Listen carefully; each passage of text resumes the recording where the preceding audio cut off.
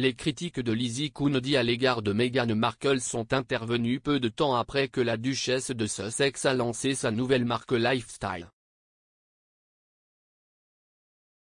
Lizzie Kennedy a dit à Meghan Markle de suivre ses propres conseils et de faire preuve de gentillesse à Kate, princesse de Galles, alors qu'elle se remet d'une opération abdominale. S'adressant à GB News America après que Meghan ait prononcé un discours lors de l'événement SXSW aux États-Unis, Madame Kundi a affirmé que Meghan joue toujours le rôle de la victime et que si elle n'aime pas les commentaires négatifs, elle ne devrait pas les lire. Elle a expliqué, Meghan devrait vraiment s'inspirer de son propre livre. Elle parle d'humanité et de gentillesse, mais elle n'a pas vraiment fait preuve de beaucoup de gentillesse envers notre Kate, qui traverse cela, vraiment pas bien en ce moment, et a subi cette énorme opération.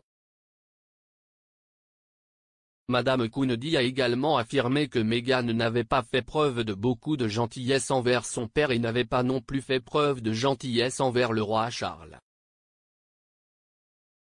Ces commentaires sont intervenus après que la duchesse de Sussex a révélé qu'elle gardait désormais ses distances avec les réseaux sociaux en raison du harcèlement en ligne. Meghan a déclaré, la majeure partie des brimades et des abus que j'ai subis sur les réseaux sociaux et en ligne ont eu lieu lorsque j'étais enceinte des Archie et de Lily. Et il suffit d'y penser et de vraiment comprendre à quel point les gens seraient si.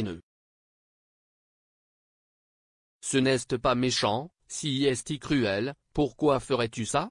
Certainement quand vous êtes enceinte et que vous avez un nouveau-né.